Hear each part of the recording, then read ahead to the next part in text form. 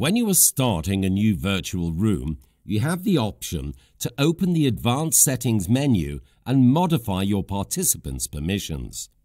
You can get full control of what your students can do and see in the room before opening it. The first field allows you to invite observers of your session. The observer is hidden from the participants with view-only permissions to monitor the session. Then you may decide to change participants' access to the room and allow them to enter it without having to wait for the host to enter first. The next section is about the system check. System check is needed to ensure you'll have a trouble-free experience in relation to your audio and video connection. Here you may choose your participants to pass a detailed or a shorter system check. If this is set to yes, everyone who enters the room will pass a detailed system check of their internet connection and device. It is set to no by default, which means passing a shorter system check, skipping two of the steps. Then there is a section called Speaking and Listening, where you can choose whether participants' microphones and speakers will be switched on or off when they enter the room.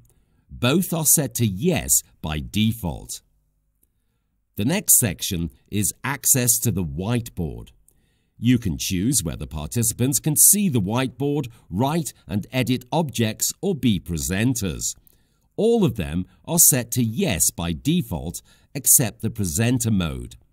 If you choose to assign presentation permissions to participants, they will be able to take the role of the presenter changing the pages of the whiteboard as slides, and also will have control of the media player.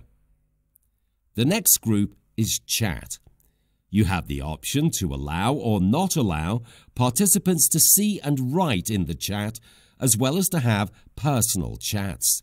These are set to yes by default. Participants can see and are shown in a video mosaic by default, but here you have the option to change that. And finally, you can allow or not allow your participants to see the file library to download and upload files. Downloading is set to yes by default, while uploading is not allowed. If you decide to leave these settings as they are by default, you still have an opportunity to change them from Participants Control button when you are into the virtual room. When you are done with the advanced settings, press the green Start Now button to enter the virtual room.